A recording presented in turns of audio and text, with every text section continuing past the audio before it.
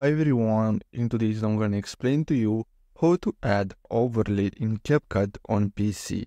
So as you can see, I've just opened CapCut, so all you have to do is to create a project and then I'm to use some uh, free uh, videos from CapCut. So I'm to take this one here and then what you're to have to do is to simply go to import and then you're to have to add your images, your videos, whatever you want to add as overlay and then simply click on the plus button. So I'm going to use this for this example. Uh, so what you're going to have to do is simply drag it over the main timeline, this one here. And now as you can see, all you have to do is to resize it and you can move it around. You can scale it. You can rotate it if you want. You can see here on the right side that you have all these options. And basically this is how you can add an overlay in CapCut. Now, of course, if you want, you can make it shorter.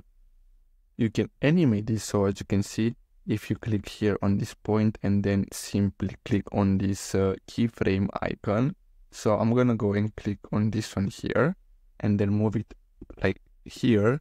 And then let's move it again. So let me change here like this. As you can see on the timeline, we have these two keyframes and if you play the video as you can see it's moving the overlay image.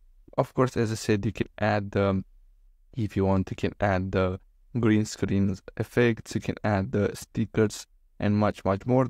But all you have to do is to import them. So i really hope you found this video helpful. Don't forget to like and subscribe and i'll see you in the next video. Thanks for watching